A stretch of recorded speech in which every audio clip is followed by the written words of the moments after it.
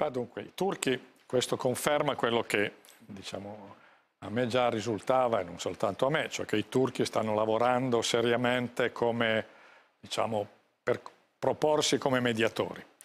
Eh, il ministro degli esteri turco Cavusoglu è molto impegnato in questo, così come diciamo, Erdogan e, e, e la diplomazia turca.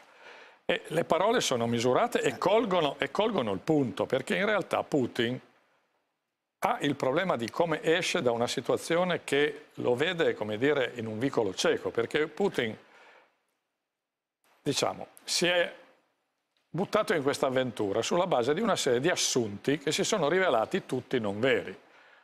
Ha sperato che gli americani ancora sotto lo schiaffo dell'Afghanistan non reagissero duramente e invece hanno reagito duramente.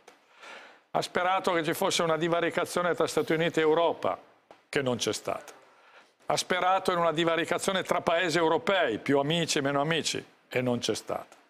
Ha sperato in una guerra lampo di 48 ore, 72 ore, ma insomma risolverla in poco.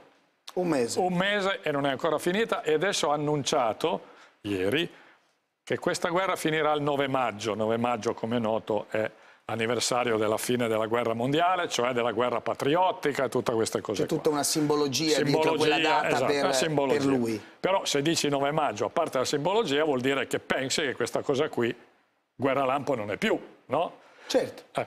Peraltro gli ucraini resistono in modo molto tenace e sono anche riforniti abbondantemente per resistere in modo tenace e, e di fronte a Putin c'è una sola strada. O vince militarmente e va fino in fondo, ma per farlo deve alzare ancora di più il livello dell'escalation militare. Oppure?